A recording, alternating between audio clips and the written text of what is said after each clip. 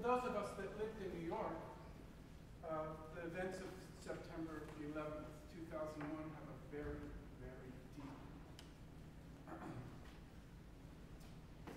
and uh, unforgettable feeling.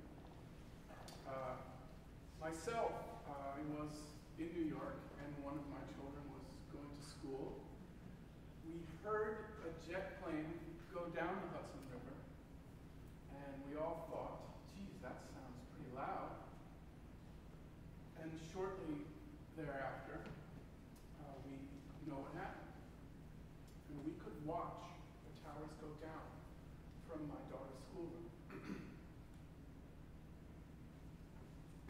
uh, it's a very serious day, and uh, that's one of the reasons we picked the beautiful and moving Très Lent of Joan Towers. Now, Words Fail Me was written by Lois V Vierk, who is a colleague of ours who lives in New York.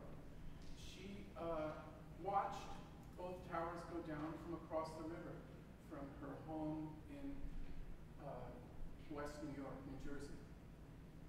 And as she writes in her program